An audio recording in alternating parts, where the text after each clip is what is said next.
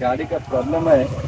चाबी अगर लगा के मारने के बाद सेल्फ नहीं ले रहा है तो प्रॉब्लम क्या है? यहाँ पर अभी अगर ये गाड़ी में देखिए, चाबी लगाया सेल्फ नहीं ले रहा है।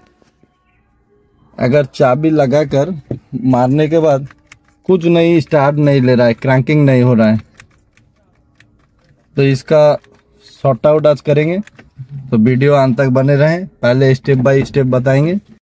हेलो फ्रेंड्स स्वागत है आप सभी का आरजेट कार आइडियाज़ में। आज के इस वीडियो में हम बात करेंगे रेनॉल्ड क्विट के सेल्फ स्टार्टर इशू के बारे में।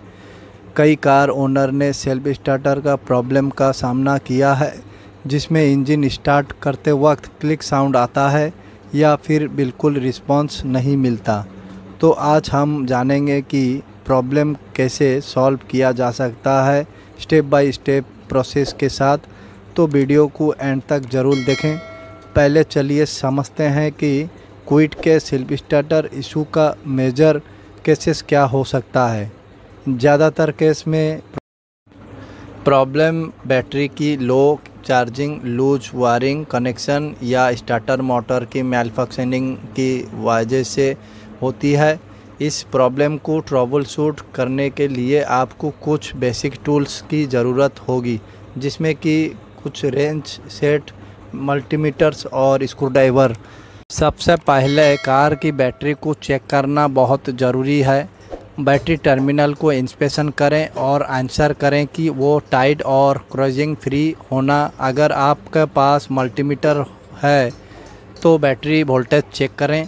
हेल्थ बैटरी का वोल्टेज 12 से ऊपर आना चाहिए, साढ़े बारह होना चाहिए।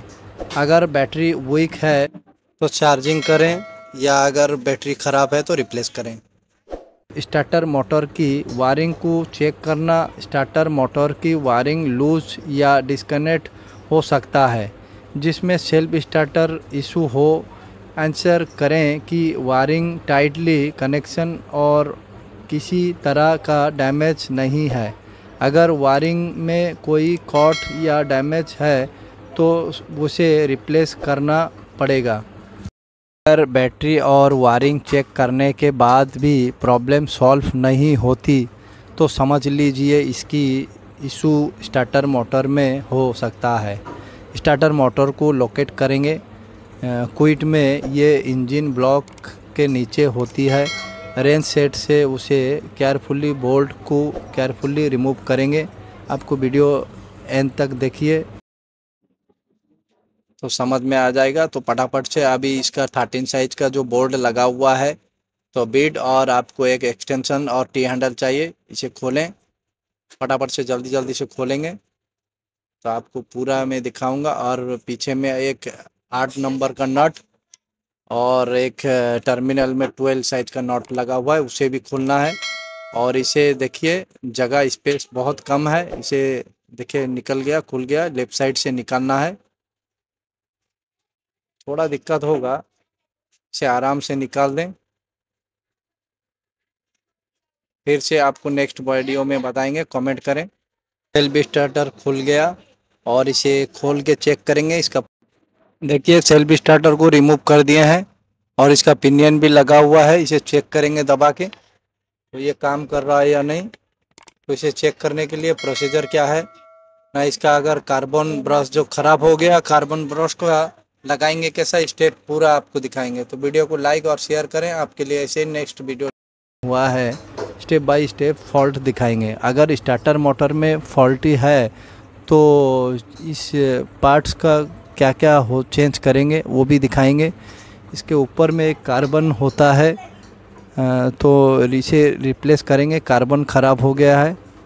कार्बन ब्रश और रोटर और कॉयल के क्लीन करेंगे और उसके बाद कार्बन को इसे नया वाला लगाएँगे।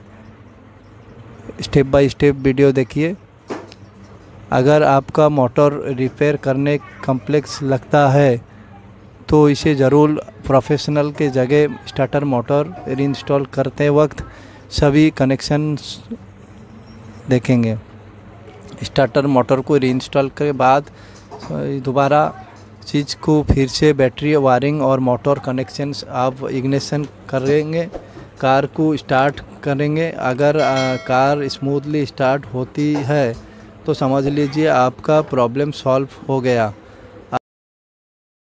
दोस्तों, ये तो क्विट सेल्फ स्टार्टर इशू के फुल्ली ट्रबल शूट और सॉल्व करने का प्रोसेस आपको इस वीडियो में दिखाया। अगर आपको ये वीडियो हेल्पफुल लगे तो प्लीज़ लाइक करें और दोस्तों, सब्सक्राइब करें, शेयर करें। आरजेट आइडिया को, आरजेट कार आइडिया को सब्सक्राइब करना ना भूलें, ताकि आपको ऐसे ही वीडियो आपको नोटिफिकेशन में मिले।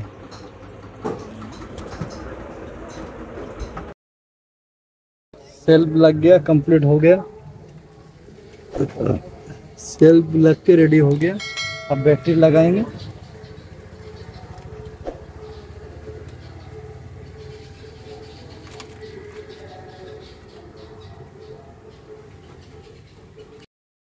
अभी गाड़ी दिखाएँगे आपको। रेडी हो गया। अभी ये रेडी। गाड़ी रेडी हो गया।